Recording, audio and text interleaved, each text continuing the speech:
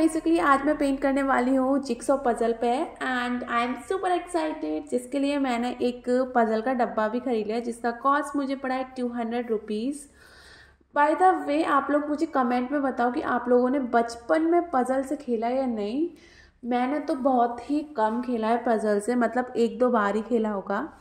बकवास को साइड में करते हुए पेंटिंग की भी बात कर लेते हैं। तो इसमें मैं बना रही हूँ क्यूट से duck couple and I hope ये बहुत अच्छे क्यूट से बने। तो बेसिकली यहाँ पे मैं और स्पेस भरने के लिए ट्री इंक्लूड कर दिया है। एंड हमारे कपल हैं तो ऑफकोर्स हार्ट बनना तो ज़रूरी है। तो लास्ट में मैं जहाँ जहाँ पे आउटलाइन करनी है, वहाँ पे मैं आउटलाइन अप्लाई कर दूँगी। एंड पेंटिंग कंप्लीट होने के बाद मैंने वार्निश अप्लाई कर दिया है। बट मैंने पहले जैसो किया था, जिसकी वजह से ये अलग ही नहीं हो रहे थे बट आई लाइक इट